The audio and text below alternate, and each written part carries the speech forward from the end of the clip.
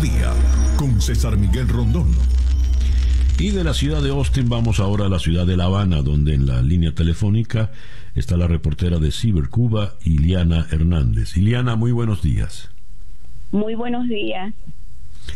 Iliana, ¿cómo amanece La Habana y toda Cuba en el día de hoy, luego de los sucesos del día de ayer?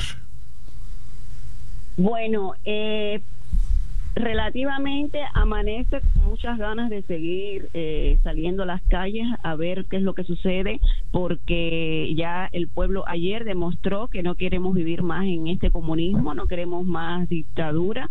Y, y, y lo que se lo que se avecina es que las personas sigan saliendo a las calles hasta que la dictadura se retire del poder y, hagamos una transición de la dictadura a la democracia. Es lo que esperamos todos los cubanos. No queremos vivir más en estas condiciones de mentiras y, y de una estafa enorme al pueblo cubano. O sea, estamos pasando hambre, necesidad y ya no queremos vivir más así. Iliana, ¿cómo calificas lo que ocurrió ayer? Lo que ocurrió ayer fue ya el desespero del pueblo cubano a tantas mentiras de la dictadura. Eh, eh, de hecho, lo de ayer ah, fue mucho más grande que en el año 94, porque en el 94 solamente se salió en La Habana y ayer salimos salió, salimos en todo el país, desde, la, desde Pinar del Río hasta Guantánamo, el pueblo cubano salió a las calles demostrando a Díaz Canel y a toda esta cúpula de, del régimen que ya no queremos vivir más en estas condiciones, no queremos más comunismo, queremos libertad y fue algo grandioso, la verdad. A ver, eh, escuchamos a, Díaz Canel, quizá estaba un poco nervioso, eh, pero hablando contra los contrarrevolucionarios y llamando a todos los comunistas para que les enfrentaran en las calles. Eh, ¿Qué ocurrió? Nada, no ocurrió nada. Sacaron a cuatro gatos, salieron cuatro gatos eh, y salieron, eh, eh, bueno, lo pusieron en la televisión cubana. no se vio ahí una mayoría, esa mayoría de la que ellos presumen. De hecho, en las, en las manifestaciones muchos policías se quitaron el uniforme o sea, se quitaron la camisa y estuvieron apoyando al pueblo cubano. Ya luego cuando él hizo ese llamado, no salió la cantidad de gente que ellos presumían que iban a salir. Ahora, no te extrañes que eh, ellos están acostumbrados a amenazar a las personas y, y de, echarlos del trabajo y demás. No te extrañe que a partir de ahora empiecen por los centros laborales a exigir a los cubanos que salgan a las calles a defender la revolución y salgan como salen un primero de mayo, que salen eh, eh, o sea, obligados a salir. Pero eh, viendo las condiciones de ayer, que salió tanta gente a las calles, vamos a ver qué es lo que sucede. A ver, decías, eh, Iliana, eh, hay ganas de seguir manifestando, pero no, ayer fue todo espontáneo, tengo entendido, o hubo algún tipo de organización.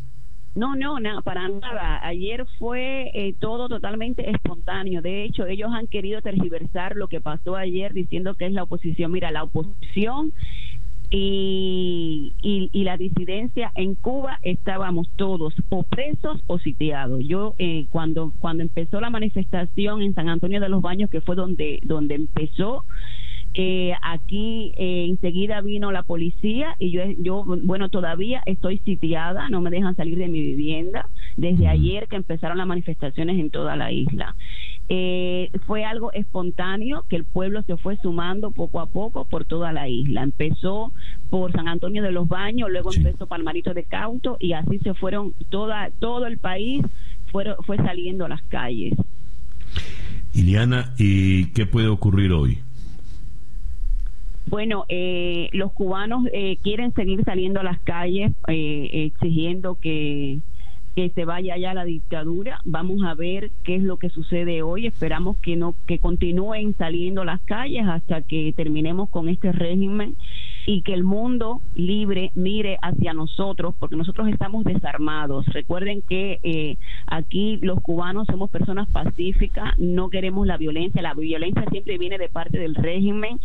Y bueno, ayer también hubo saqueos en las tiendas de, de la dictadura, en las tiendas de MLC, como se llama aquí, a las tiendas de moneda libremente convertible.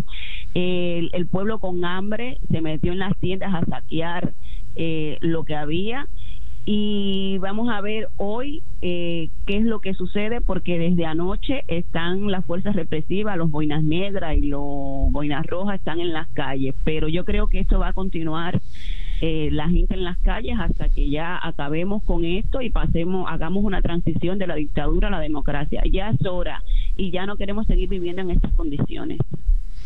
Iliana, te agradezco mucho que nos hayas atendido en la mañana de hoy y seguiremos muy pendientes de tu situación en particular y del pueblo cubano en general. Gracias por atendernos. Muchísimas gracias. Iliana Hernández es reportera de Cibercuba, eh, limitada por lo pronto a su casa en La Habana, tal como nos lo manifestó. El reloj indica 8 y 20 minutos de la mañana acá en día a día.